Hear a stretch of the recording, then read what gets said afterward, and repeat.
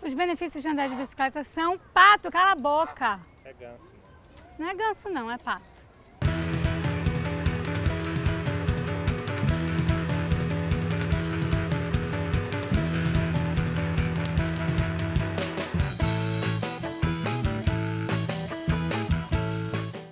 Oi, gente!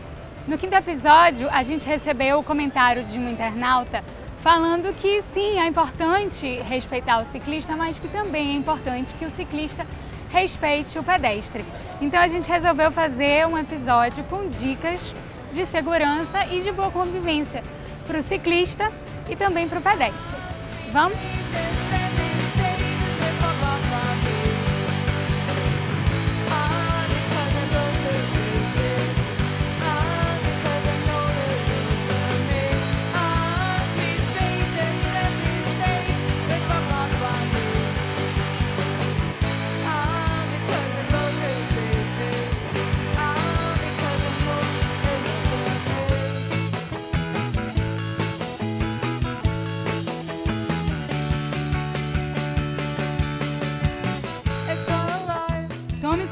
As portas de carro e principalmente com os cruzamentos.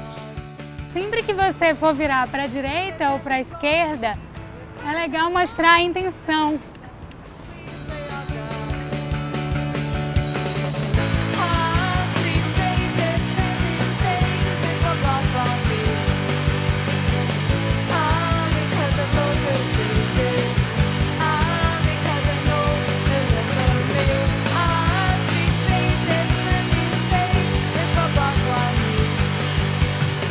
Andar de bicicleta tem vários benefícios.